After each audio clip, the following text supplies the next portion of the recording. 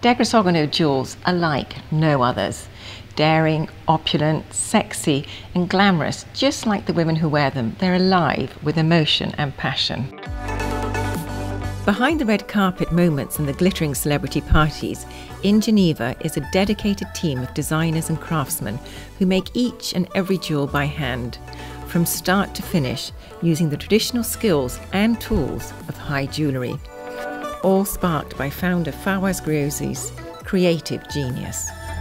Cannes 2017 sees the launch of Love on the Rocks, de GRISOGONO latest high jewellery creations. Fawaz Gruosi's love of precious stones comes to life in these voluptuous jewels that reflect his passion for perfection. And it's not just about the huge stones and the fabulous colours.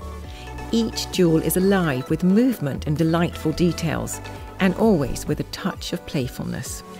Take these diamond earrings festooned with over 500 diamonds, including briolettes that shimmer with every move.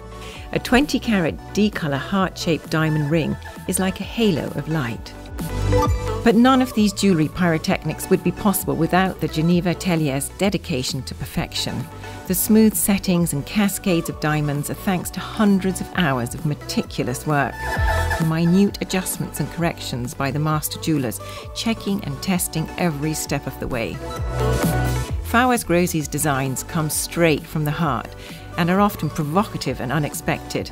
de GRISOGONO loves to combine different stone cuts or daring colour combinations. And because no detail is too small, even the tip is decorated with a gemstone, as are the heads of the claws holding stones in place and even the hidden parts are elaborately decorated with a house's scroll motif.